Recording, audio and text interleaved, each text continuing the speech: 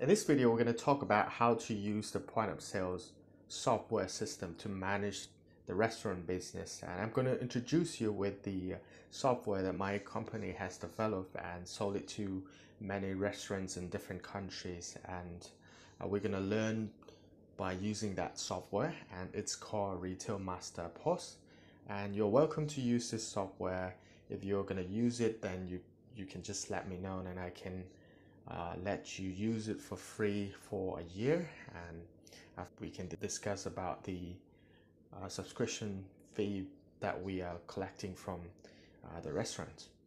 Anyway, we're not talking about the um, the software subscription fee and etc. And we're not even just to learn the point of sales system in this course. So let's jump into it right away. So it's called Retail Master POS, and the way you're going to use it is um, you have to register it first. But I've already registered so I already have the username and password. So what I need to do is I just need to log in. So once I log in, and there are four main functions uh, in this particular software, and one is the point of sales where you record all the transactions. So this is a very new user, so we don't have anything here. But don't worry, we're going to create um, the table, menus, and we're going to create the inventory and etc. And the second is the sale dashboards. This is where you can see the sales information and all the sales data, and you can even export Excel file uh, from here. And the third is the inventory management. This is where you keep your inventories and track the inventory as the sale takes place on a timely basis. And this is built on the cloud-based system. So it's real time and the data is updated in every single second. So you get to see the sale data uh, in real time basis. And the last one is the setting. Uh, this is where you can connect with the printer and you can write your store name, you can write your shop address, and you can input the text and etc. So we're gonna uh, get into it in detail later on. So first of all, we're gonna go into the point of sales, and here you can uh, put this as a table. If you're running the full dining restaurants, or if you're running just a fast food restaurant, then you can keep the customer. In our case, let's try to create a setting uh, for the food dining restaurant. So first we need a table. So if we are to use uh, table one, two, three, then we can create as a table one and we can select the icon that we like and this is table two and depending on how many people can see you can select the icons here. So after we create the table and uh, we can create a menu. So here if we click on menus as you can see there is none for for now. So we can create the menu here and there are two different types of menu. One is a single menu where you sell uh, on a single item basis and another is the set menu where you bundle it into a combo set and you sell it as a combo or as a set menu. So here we're going to create the uh, single menu. So we're going to name it uh, let's say beef burger. Here we we're going to create a category and the category will appear on the left. And if we put any menu in that category and we can easily find it uh, by clicking in the category. So here we're going to create as the um, burger category. So in order to create it you have to click um, the next so that as you can see if you create a next then uh, there is a message showing that a category is added. And here we we're going to put the selling price. So we're going to put uh, ten dollars and for cost to make this burger let's say we have four dollars of cost for this uh, burger so the codes you can just put any name but if you have a lot of raw materials you may want to do the running number for the code. So for the time being we're going to just use one two three five. And here we can upload the image and see um, if we have any good images so uh, yeah there is a burger. So this is where you upload the image and you click OK and there is the menu that we just created. And if we want to create another menus, uh, we just simply, let's try to select the uh, photo. Let's say we we create the sandwich. So here, sandwich, we put the name. We're gonna put this sandwich into the burger category. So what we need to do is we just need to type BU and there is a suggestion uh, popping up. So we just need to select this suggestion and we're gonna put the price for sandwich, $5. Uh, remember that you don't need to put any dollar signs or any currency signs here. You just put the number and here the item cost is uh, $2 and the codes we're gonna just put 245 and then we're gonna click OK. So once we have this uh, menu and we have this table, so we're gonna start making the sales. So the way we do it is by selecting the table. Let's say customer go and sit at the table and they order beef burger and sandwich. So as you click on it, you can see the quantity increase on on this menu picture and also on the right side quantity increases and then it also calculate the amount uh, that is receivable so once we select the menu if it's the full dining service we're going to send this to the kitchen first. So the way to do is we're going to click order and once we click this order there, there is another system uh, which is called kitchen display system and that will display the order on the screen. But if you don't want to use that kind of system you can simply connect with the printer and the printer will print this order for you. But for now let's try to use the KDS so in order to use the KDS we're going to find the KDS app of this retail master and we're going to log in with the same username and password so that it it's connected to each other and it will receive the order. So here we're going to input the user name and then we're going to input the password so as you can see we just click the order and there is an order coming up here on the KDS or kitchen display system. So once the kitchen has already made it or has already served to the customer, so we can just simply click done uh, in the kitchen and then the kitchen uh, chef, they can look into the detail again by clicking the view. So what the items that they already made. So let's go back to the point POS. So after we submit the order and customer come and ask for the bill, then we just simply click confirm. And there is a receivable. And if customer pay $50, then the change will be five. So here, if there is no promotion or there is no discount to be applied, we just simply click settlement OK, and then this transaction is done. So we can go and look at this uh, bills in the bill section and we can click it and then we can see the details of the bill uh, that we just created.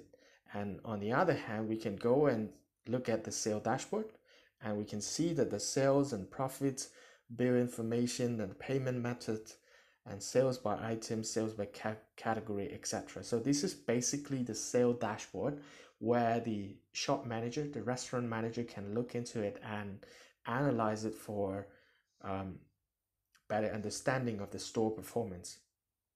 So if we want the detail of this sales data, we can simply click export and then the export will be saved into the download folder of this device. So basically that's uh, POS and if we're to try it again and we're going to confirm it and here we can use many different promotions. So if we are to use the discounts promotions, let's say we give $10 discounts, then the receivable amount will be reduced. Or if we reduce it, or if we give discounts in percentage, that will also uh, reduce the total receivable. And on the other hand, if customer pays through credit card, so we can simply uh, click on the credit card and we can put the uh, reference number, the approval codes of the credit card, and the amount uh, pay by the customer. So this will complete the transaction. And in the sale dashboard, and we can see there are two different payment methods. One is the cash and another is the credit or debit card there. Another important function for the restaurant is that customers should be able to order as many times as they want and pay all at once after they finish dining. So for that, this software also allows the cashier to record the transaction and um, check out all at once. So the way to do it is basically click on the table and let's say customer order one beef burger and sandwich and then they haven't paid yet. So what we do is we click on confirm. So that makes this transaction stay in the bill, but it's not completed yet. It's still pending and we can add the item as many times as we want. For example, here, customer order one burger and one sandwich. So if they order more, let's say two, two more burgers and one sandwich. So totally, that will be $25. So if customer still hasn't paid yet, we can still click confirm and then go back and click on this bill anytime we, we want. And then as you can see, the quantity is updated.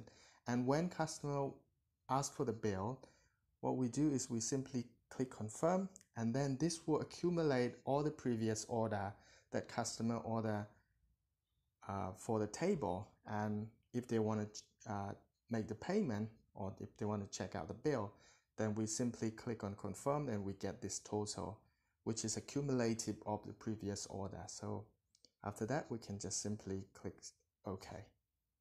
So and then table is gone. If customer order and they haven't paid yet and the bill will be here in the pending and then on this table you cannot select it right? Table is already occupied. So what we need is we need to select other table instead to do that. So that's that's also uh, important functions uh, for the restaurants especially the full dining one. So that's basically the point of sales function and the sale dashboards so next we're gonna talk about the inventory management. So here uh, it gets a little bit complicated because of the fact that we have to integrate uh, we have to set the bill of materials into each menu that we just created. So we have two menus.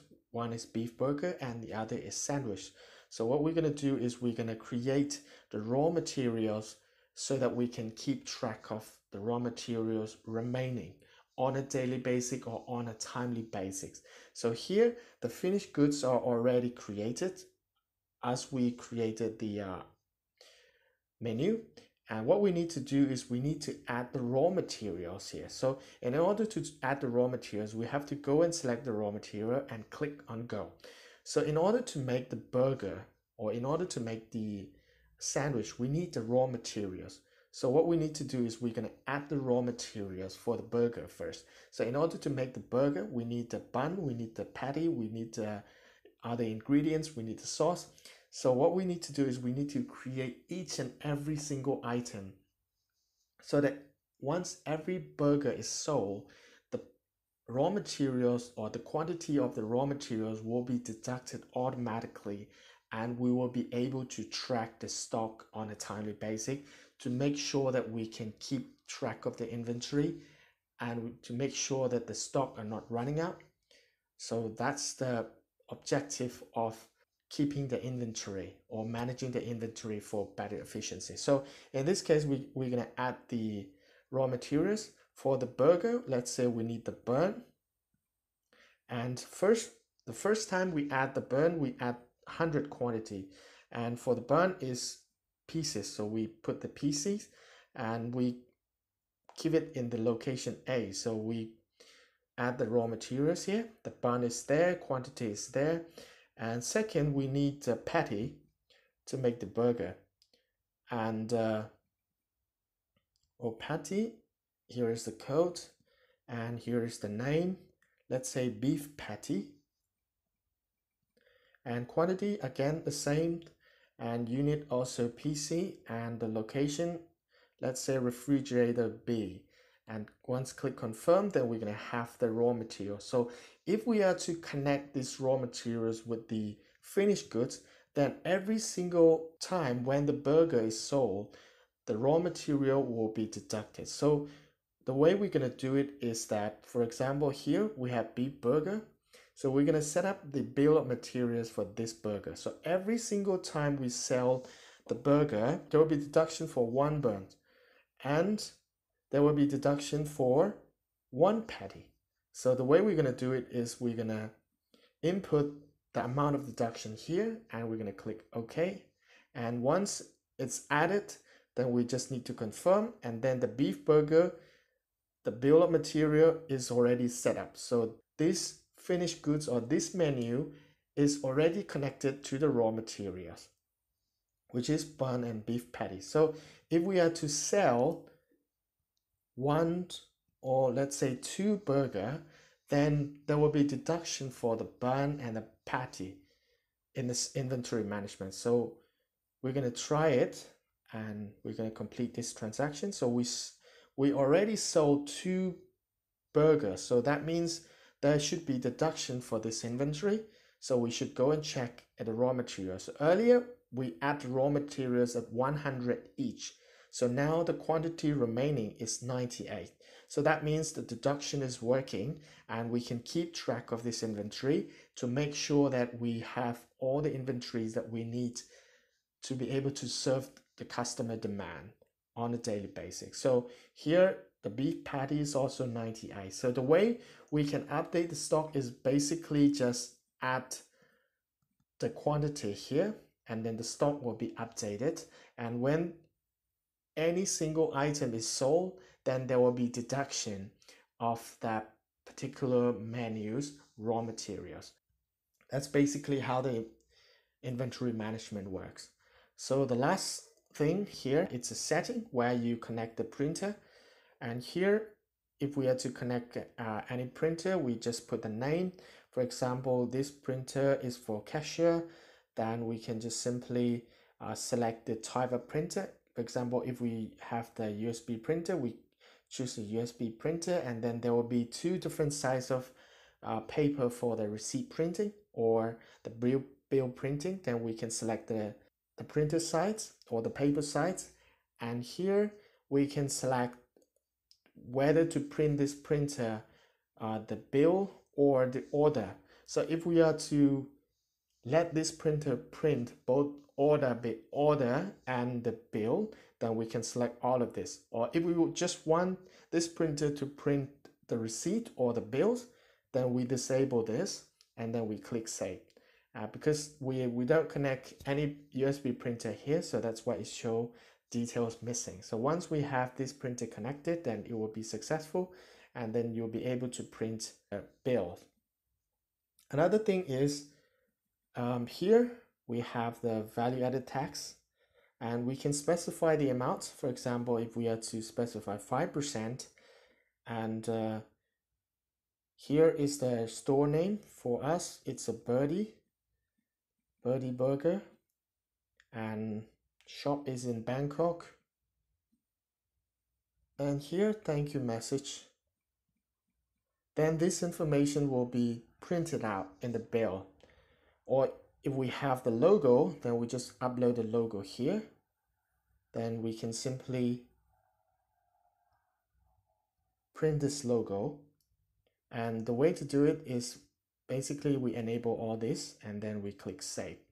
And after that every single time we create a transaction the bill will be printed uh, with the details that we input here. Uh, that's basically how this uh, point of sale system works and you can try it yourself. Uh, by downloading it from the Google Play Store you can just search Retail Master POS and then you can see this uh, app, then you can just install it and you can try it on your own. And if you don't understand anything, you can just ask me anytime in the Q&A sessions. So I'll see you in the next video.